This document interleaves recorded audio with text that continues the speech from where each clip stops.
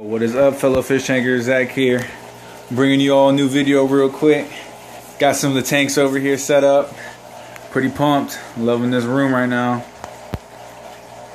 Still gonna take some work. Here's the 125 as always. It's got a random Amazon sword in here. An Ocelot sword floating in there. All my cichlids, a couple rainbows. You know, some fish I traded for.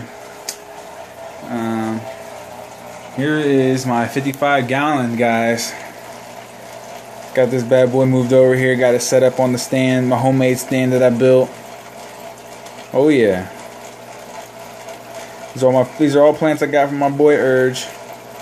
Yeah, I broke down his tank and I kind of uh, set up this uh, 55 gallon aquascape here. Pretty simple. I'm sure you guys seen a couple of my, couple of my older vids where when the just when I just set it up. I wanted something nice and sweet, you know, pretty much uh, the main focus in here. Well, plant type is uh, the dwarf sage, as you can see, pretty simple. You know, my hardscape, I got a nice uh, rock, some type of saltwater rock in there. I had when I did my saltwater tank. You know, got this nice piece of uh, wood. It wasn't really a driftwood but I turned it into one. Looks pretty sweet. I got a crap ton of snails in here. Got them from Urge. Hey, but they work out. I'll get something in here. I could put some loaches in here, but thing with loaches are they dig up, they tear stuff up, pull dirt up. As you can see in here, number 25, they dug all that down. These sweet uh, tiger loaches. There's one right there. They'd love to eat all those snails though. But I'm not trying to destroy the aquascape here. Um, when I moved it over from the from the house, the parents' house over there, I pretty much drained the tank down about right here.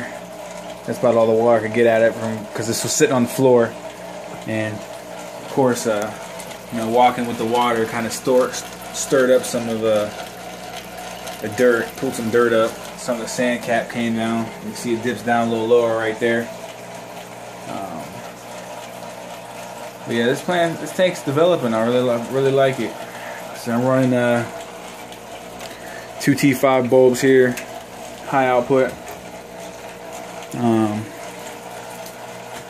I threw the filter on here. Haven't had a filter on here when this tank was first set up, but I threw it on here just to kind of clear that dirt up in this tank, clean the water up because it was brown and hazy. So it's doing pretty good. Other sound you're hearing is my 55 gallon tank, uh, crayfish tank for my boy Juicy. Got some snails in there. It's kind of nice now. I don't have to go to the river, drive down to the river anymore. At my old place, I got a, a nice creek in the backyard a nice creek, I should say. Tons of crayfish. Just get tons of crays there. Got my turtles moved in. Got their set up, put them in here today. But what I'm gonna do, let me step back a little bit. I'm gonna eventually, I'm gonna build like a, I think Juicy's gonna go right through here. I gotta get rid of this hose. This is from the dryer.